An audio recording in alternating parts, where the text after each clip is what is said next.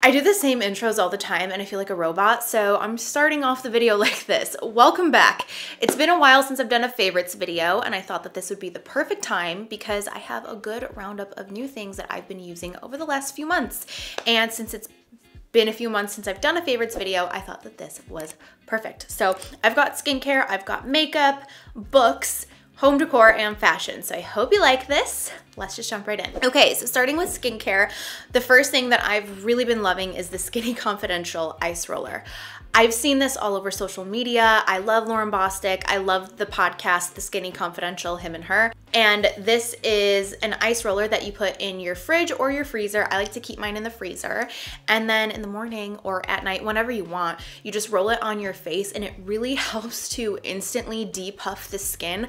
I can get really puffy, especially overnight. And even just like with certain foods that I eat, I can get a little bit more inflamed. And this really does help to kind of just like soothe that down and give you just an instant little depuff. I really been liking this and also it just feels good in the morning to add that coolness to the face, get you prepped and ready. I like to actually use this right as I'm getting ready here at my vanity for the day, like to put on my makeup. It just, I don't know, it, it helps to just give that extra little to the skin and I've really been liking it. So I feel like stuff like this always seemed a little bit gimmicky to me. Like, is something like that really going to work? But between this and I also started doing gua sha in the fall, I really do notice a difference. And people talk about that stuff for a reason. It kind of seems like what's ice really gonna do or something cool on the face really gonna do. And it's one of those things that you kind of just have to try it and see and then you'll know. So I've really been loving this um, and I kind of want to get her they're like little roller balls. It looks like a sex toy, but it's to help. It, it's kind of like in place of something like a gua sha. I'm sure you can use them in, conjun in, eh, in conjunction with each other, but it kind of just helps to sculpt the face as well. But it's just so cute. I love her branding. It's so cute. I don't know if you, well, obviously you notice I'm wearing hot freaking pink, but I have just been loving color lately. I'm such a neutral person. I like my whole house is black and white. I love shades of neutrals, um, shades of browns, and something with right now. I'm just so ready for spring, so I'm just channeling spring right now. And anyway, her packaging has just been a a breath of fresh air. Nobody has packaging like this and it makes me happy. It makes me smile and I enjoy using it. So check it out. I'll link it down below along with everything else in this video. Another skincare slash makeup product that I've been really loving is the Lawless Set the Stage Hydrating Soothing Primer Serum. I love this. I'm very picky with primers. It has to like really wow me. I only use probably like two primers and I switch between the two. This is now a new staple. I love it. I think the packaging is really cute. The only downside is I wish it was a little bit bigger because I've been using this since probably the beginning of the new year, so only like a month to a month and a half. And I'm like halfway down. So I really like this, especially on days like if I feel extra dry, it really helps to hydrate and soothe the skin.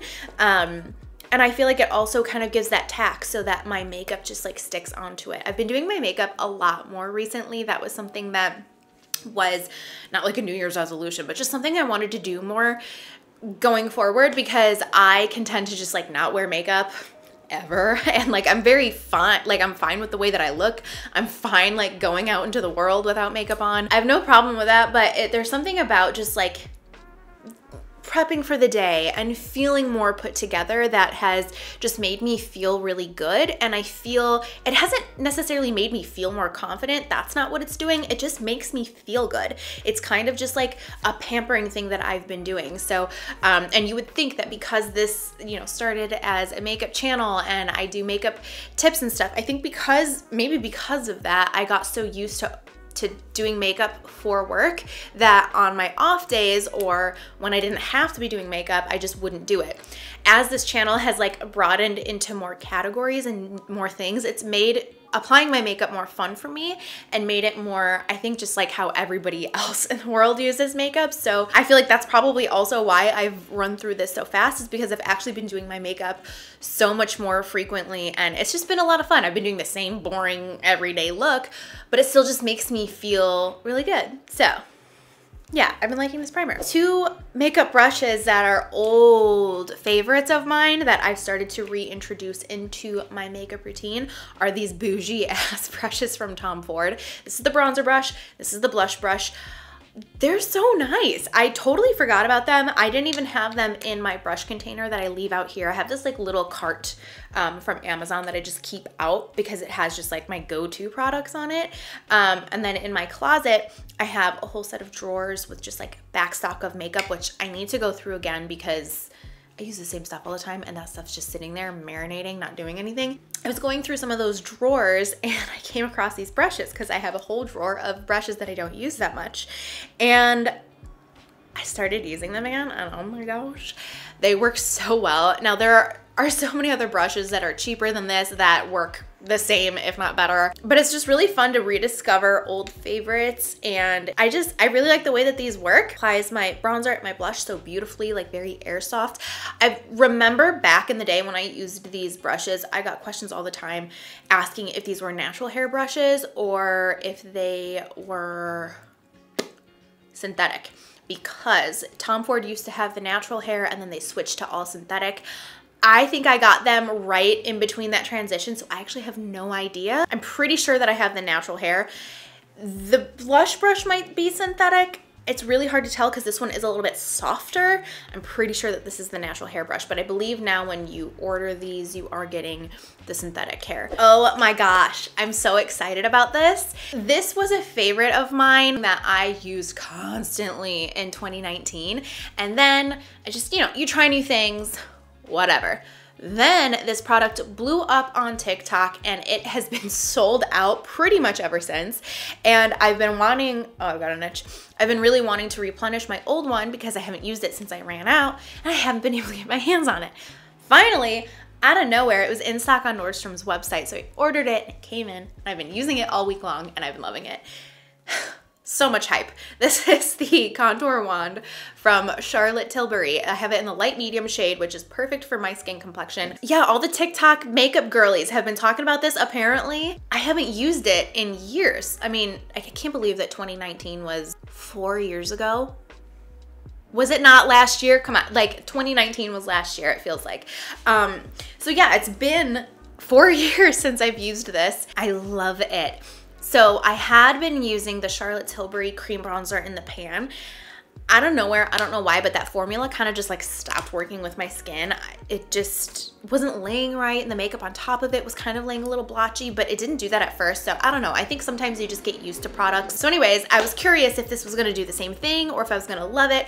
It is working so well with my skin. I feel like I could wear this without wearing any other makeup. Like if I just wanted a little bit of bronzeness and a little bit of contouring to my skin and then wanted to go throughout the day without wearing any other makeup, I feel like I could do that with this product because it just looks so natural. It's been making my nose contour like like so easy and snatched and I am loving this. So I'm gonna have to do like a makeup tutorial soon because I've been loving the way that this looks, the way that it applies, and I'm so glad that I got my hands on it. I have no idea if you're interested in this product. I have no idea if you're gonna be able to get your hands on it because I've been trying to buy this for like a year. I mean, I haven't tried that hard, but anytime I have looked, it's been out of stock. So um, yeah loving this. So I tried a new skincare product. I've finally decided that I am ready to just take care of my skin.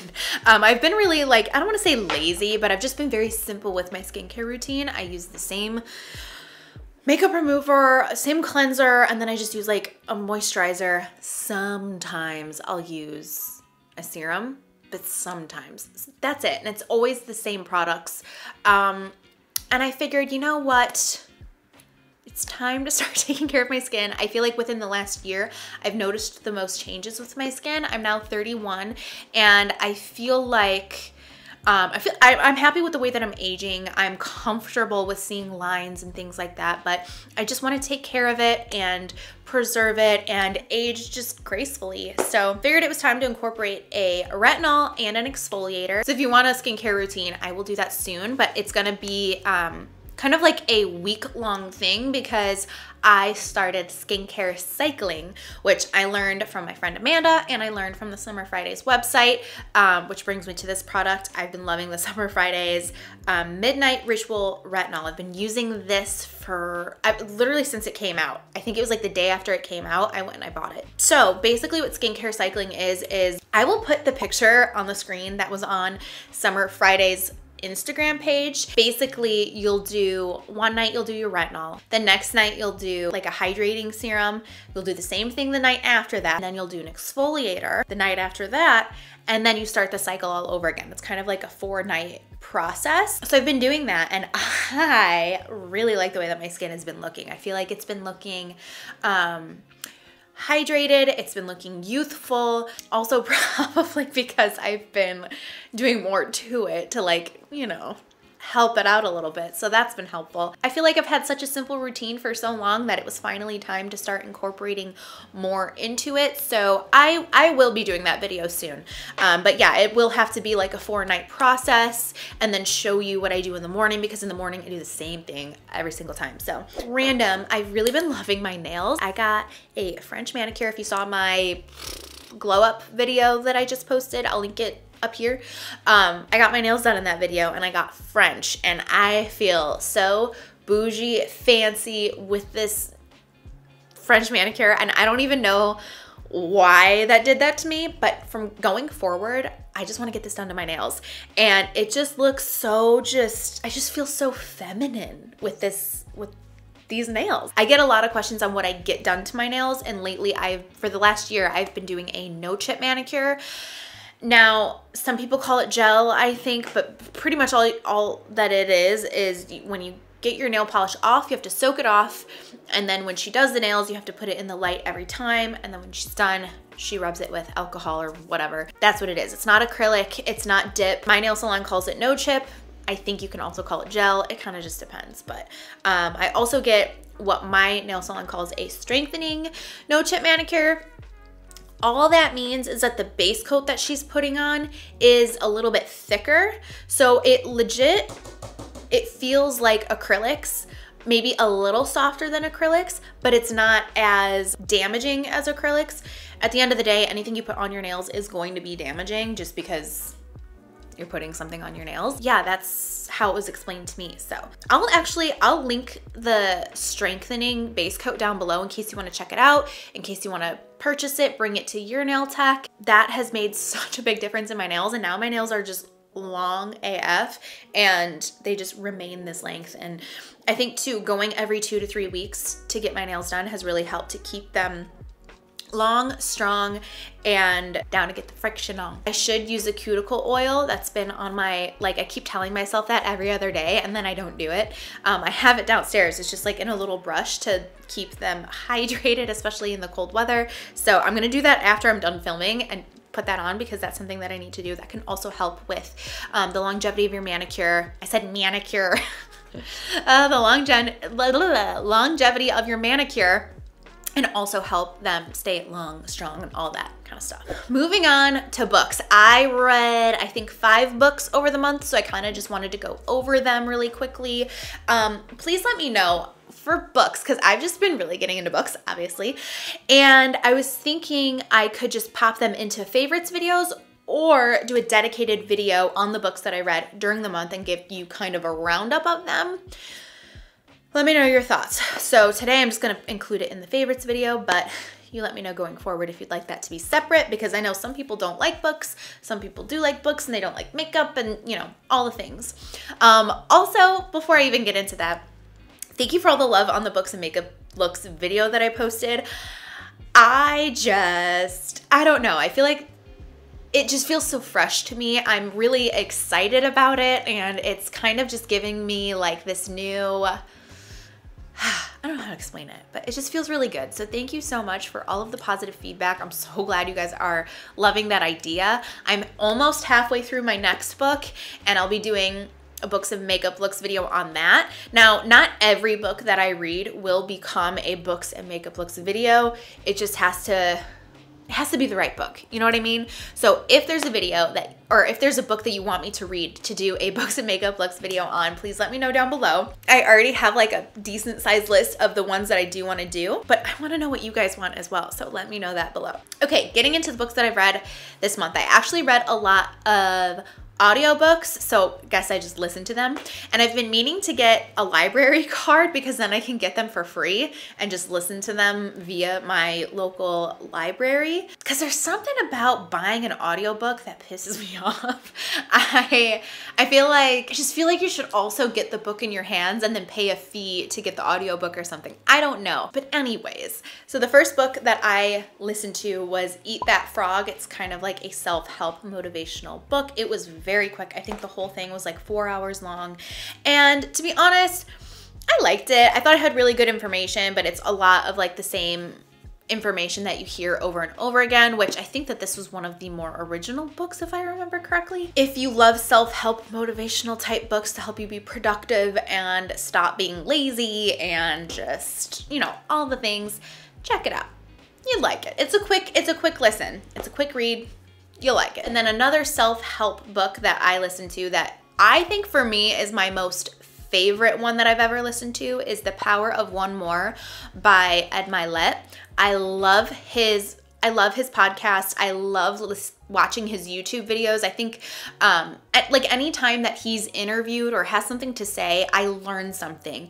There's this video, I'll link it down below. It was kind of like a light bulb moment for me and I go back and I re rewatch this video all the time and it's all about confidence and how to build your confidence. And in that video, he talks about how a way to boost your confidence is to set goals for yourself, but then follow through with them because then you learn to trust yourself and you build that confidence off of that trust. It made so much sense to me and I looked back at times where I felt more confident in my life and then times when I I wasn't as confident and it's because of that example.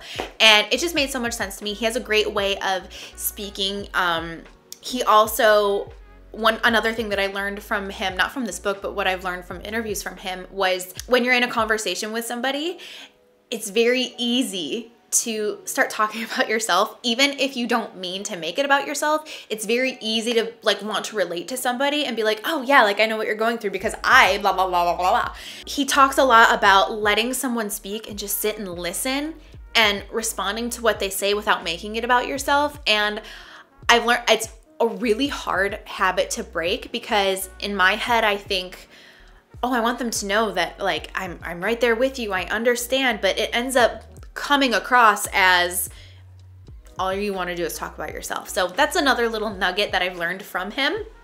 But yeah, this book was amazing. I love that he incorporated his faith. I love the scriptures that he did provide because they were ones that I didn't know about. I've never heard before and really supported the things that he was talking about. And so I just love how he brought that all together. I think no matter what your faith is, I think that you you would really love it. Um, also that's not like the whole thing of the book. Those are just little things sprinkled in that i found value in. Um, but oh what was the right at the beginning of the book he talked about something and it is literally slipping my brain. I can't think about it. I wish that i could remember. Um, anyway it's been my favorite self-help book so far that helps with procrastination, self confidence, and just trying to be the best version of yourself and also to like work hard and get the things done that you want to get done. So I really love it. It's my favorite. I can't wait to listen to it again. I'm probably going to listen to it again very soon because I just feel like I zipped through it in like two days. So loved loved that book. Another one that i read obviously was daisy jones and the six. I listened to that one actually. If you want a full review on that check out my books and makeup looks video. That's the first book that I did that video on. The heat just turned on, perfect. So check that out if you're curious. It's basically about the rise and fall of a band in the 70s. Um, it is a fiction novel, so none of the people are real, but Taylor Jenkins Reid has a way of making you feel like those people are real. Um, just like Seven Husbands of Evelyn Hugo, like all I wanted to do was like look up everything, but it doesn't exist. And they were making a show on it on Amazon Prime coming out March 3rd. I cannot wait. Um, so yeah, that's another book that I read this month that I really enjoyed. Two more books. Most of these I listened to actually. It's just so much easier for me to listen to the book than it is to sit down and actually read it. The other one I listened to was the memoir by Jennette McCurdy. This one was all about um, just her childhood and growing up and being on TV, being on Nickelodeon, and everything that she went through. Um, I wanted to give that preface before I say the name of the book because the, the name of the book is like, what? A lot of the book has to deal with her relationship with her mom and the abuse that happened between her and her mom, and just how um, abuse can show up in a way that you don't necessarily hear about all the time. She talks a lot about her eating disorder. So just, you know, that's kind of like at the forefront of a lot of scenarios in this book.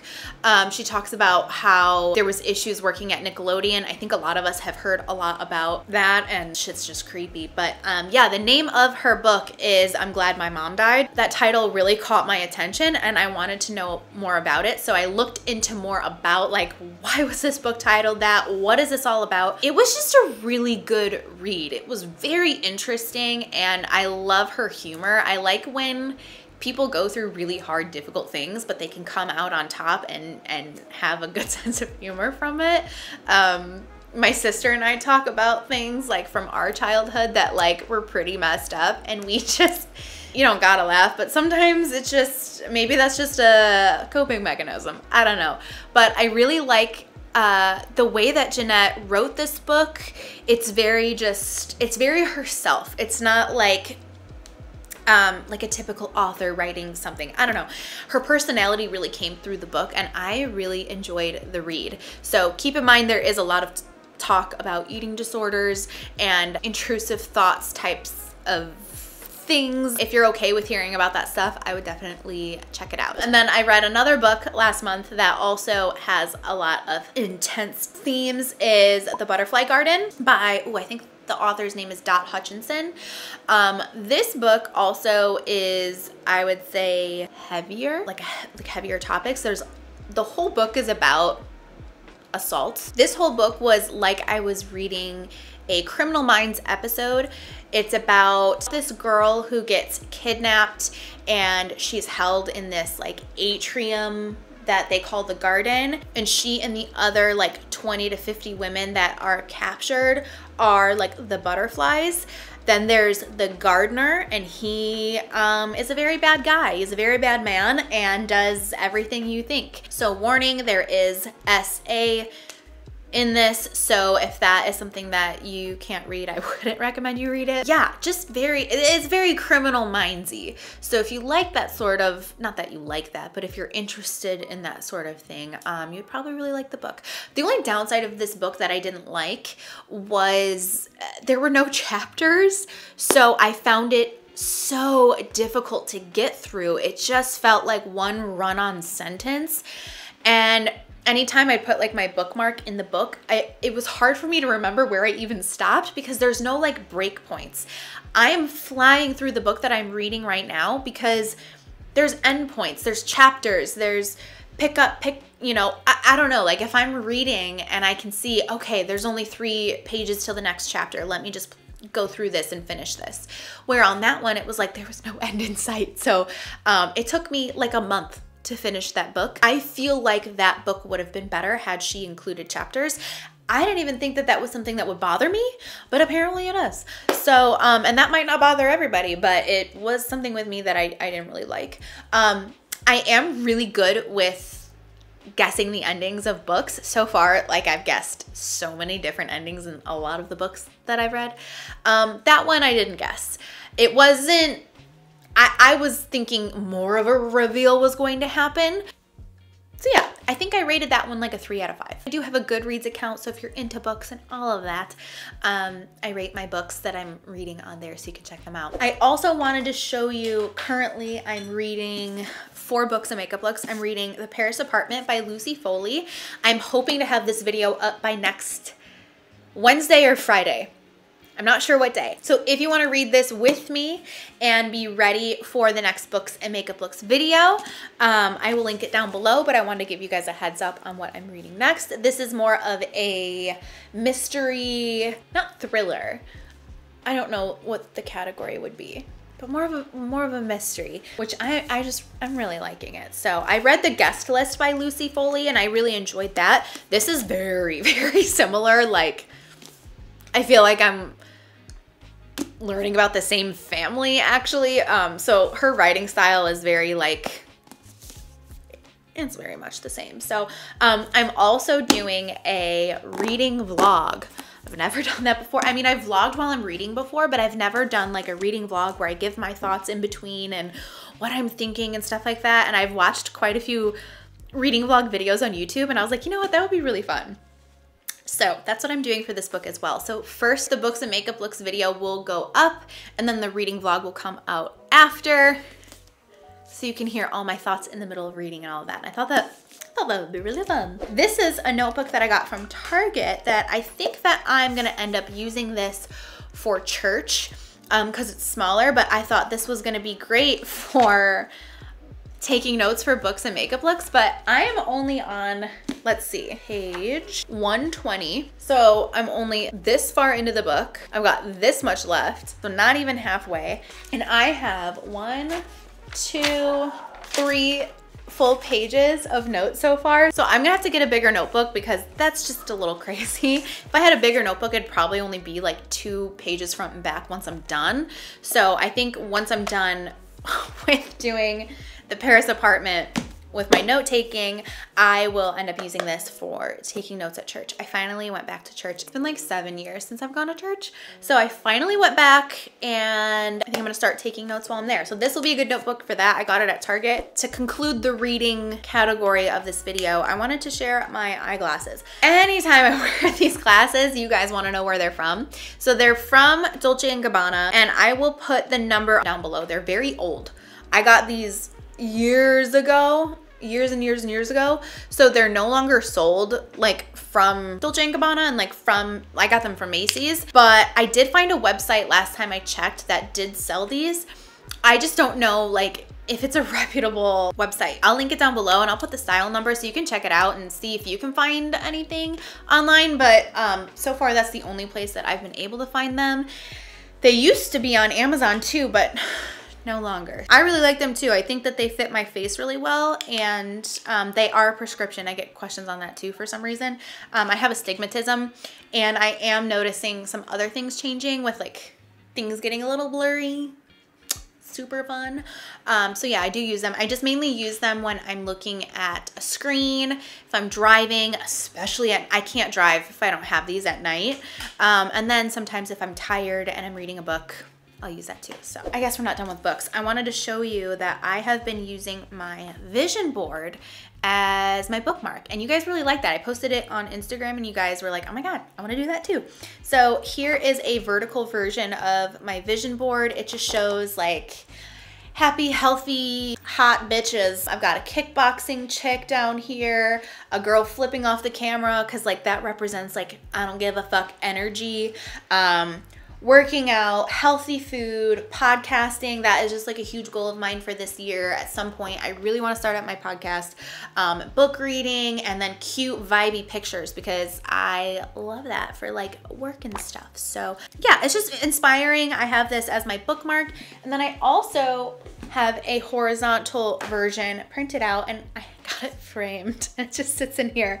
Um, on this one, I do have more um, pictures of the same things. People talk about like putting inspiration pictures and quotes and words around your house and stuff like that. I like that too and maybe I'll do that one day with like post-its and stuff but this to me was just very beautiful and so I got it framed. This frame I think was like $5 at Target and I just let it sit here in my creative space, in my creative room so I could see this. So it's never too late to start a vision board or to set goals. Don't don't let the new year and like the pressure of the new year be like the only time you feel like you need to do that. I want to reevaluate my goals like once a month and see like where I'm at, what I'm what's going on, what do I want to do, what do I want to achieve? And I feel like having this out as a reminder and having it in my book as a reminder of like what my intentions are and what my goals are and the person that I want to be, it just helps me to stay on track with those things and inspire me to like be the person that I want to be. So Don't let the pressure of the new year be like the only time that you feel like you can do that. Do it right now. If that's something that you have been wanting to do and then maybe you didn't do it in, in January 1st or the first week of the new year, don't let that set you back and make and make you feel like you can't do it now. Do it on a random Tuesday in March. You know, it doesn't matter. So um, I hope that that inspires you to just you do you do your you know if you've got goals that you want to achieve you can achieve them right now. Get started right now not tomorrow morning right now. So those having those there really helps me kind of keep on that mindset. Another home decor thing that i've been loving is just getting fresh flowers. I do this mainly in like spring and summer but once I took down my Christmas decorations, it looked so naked in my house. And buying fresh flowers once a week has just brought me so much joy. These are just some flowers from my my grocery store. And then this vase is from CB2. I'll link it down below. It's so beautiful. But Oh, these are so fragrant too. I keep these on my coffee table and when I sit down on the couch, I can actually smell them. Oh, they're just so beautiful. It's like bringing life into your home, bringing color into the home. I've just been obsessed with color. Normally when I would buy flowers, I would buy white flowers, which I have some white roses downstairs as well. But there's something about just this pop of color that just ah, brings so much life into the house, into my day, especially when it's just so gray and gloomy outside. Like it's so rainy right now. I'm trying to like liven up this winter and bring the spring vibes. So that's just been really making me happy. It's making, it really has been boosting my mood. I don't know. Last but not least is my coat. I have been wearing this like crazy. This is from the brand Mango. I got this in a size medium. It fits perfectly. It's the perfect oversized comfy fit. I can wear a sweatshirt under this or a regular shirt. I'll put pictures in with me wearing this, but I have found this coat makes me feel like that bitch. It's so funny. You guys ask me for outfit videos all the time. Can I tell you, I legit, I'm not, I'm not kidding. I legit wear the same thing every single day. I wear leggings and a black long sleeve. I have multiples of leggings that look the same and multiple long black long sleeves. I wear the same thing. And if I'm not wearing that, I'm wearing a sweatshirt and sweatpants. The key is earrings and this coat. You wear a sweatshirt and sweatpants and you put on like a like a puffy coat, you're gonna look more sporty. You put on this, you're gonna look so fancy, so bougie, like you've got like you've got your shit together. That's at least how I feel when I put this coat on. I'm like, what problems? I've got everything put together. And then with my French manicure, I'm like, but all I'm wearing is like athletic wear underneath. So legit, this coat has made me feel just really put together during the winter, especially in the winter. I just feel normally, I just feel like blah and like who even cares about fashion because it's just cold and I'm just trying to get through it. This is warm, but it's still lightweight, but like it really boosts my outfit and it like it is the outfit so um i will link it below i actually posted uh like a like to know it post over on my LTK if you want to check that out too. I'll link that below as well. So I think that that's everything for this video. Those are all the things that I've been really loving lately, at least for the last month, even longer for some of them. Um, but they're things that I use almost every day and have been bringing me a lot of joy, especially in the winter. I just feel like it's so hard to just just to keep a happy mindset and keep, you know, whatever. In the winter it can just feel so dreary and blah and these are the little things that have helped to make me feel good and help to make me feel pretty and it feels good to take care of myself and these things help with that. So I hope you guys liked this. Please share what you've been loving down below in the comment section and please let me know what books you're interested in hearing me do a books and makeup looks on. So yeah, thank you for watching. Please subscribe and I will see you in the next video. Bye.